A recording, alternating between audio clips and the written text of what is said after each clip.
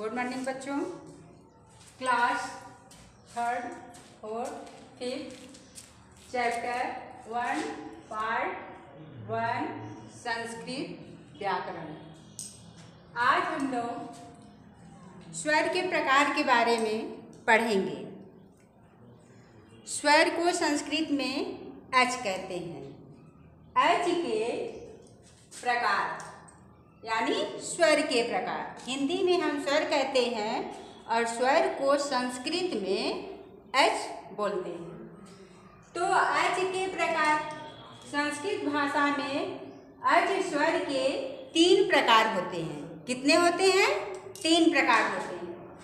तीन प्रकार में कौन कौन से हैं, उसको ध्यान से सुनिए। पहला हरेश्वर जो सबसे छोटा होता है, कम समय लगता है बोलने में, उसे हम हरस्वर्ण कहते हैं।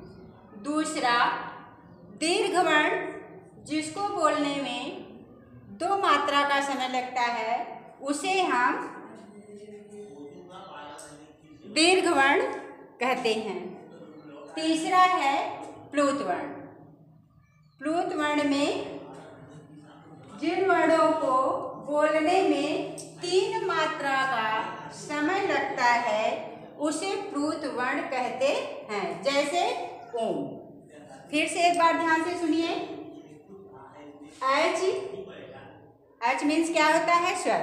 हिंदी में स्वर बोला जाता है, संस्कृत में स्वर को एच बोलते हैं।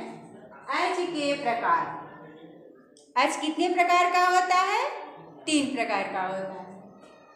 कौन कौन? हर्ष दीर्घ प्लूत फिर आपसे पूछा गया कि हर्ष वर्ण कौन है?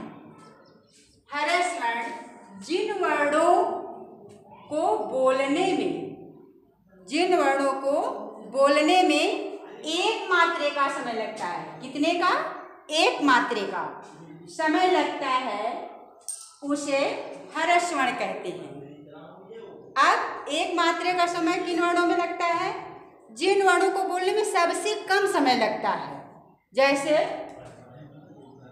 अ, ए ओ री, इसको हम जल्दी बोलते हैं। जल्दी बोलते हैं, कम समय लगता है, उसको हम कहते हैं एक मात्रा का समय लगता है, उसको हम बोलेंगे हरस्वर्ण दूसरा है दीर्घवर्ण। दीर्घवर्ण किसे कहते हैं? ठीक उसी प्रकार, जब हम वर्ण को बोलते हैं तो वर्ण को बोलते समय उसमें पहले वर्ण से ज़्यादा समय लगता है। अर्थात हर सुस्वर से ज़्यादा समय लगता है, अर्थात दो मात्रे का समय लगता है, उसे हम कहते हैं दीर्घवर्ण। दीर्घवर्ण में आपका आता है आ ई, उ, ए ए ओ, औ।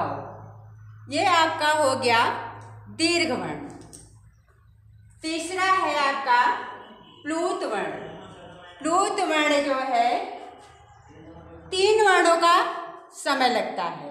तीन मात्रे का समय लगता है सॉरी जिन वर्णों को बोलने में का समय लगता है। कितने का? तीन। तीन मात्रा का समय लगता है।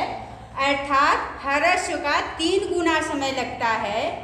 ज़्यादा समय लगता है बोलने में। उसे हम प्लुत वर्ण कहते हैं। जैसे ओम। जब हम पूजा पाठ करते हैं या कुछ करते हैं तो ओम शब्द का प्रयोग करते हैं। तो वहाँ पे जो है ओम शब्द कहने में हमें हर्ष की अपेक्षा तीन गुना समय लगता है, उसे हम प्लूत कहते हैं। थैंक यू बच्चों। इसको याद भी कर लेना। Thank you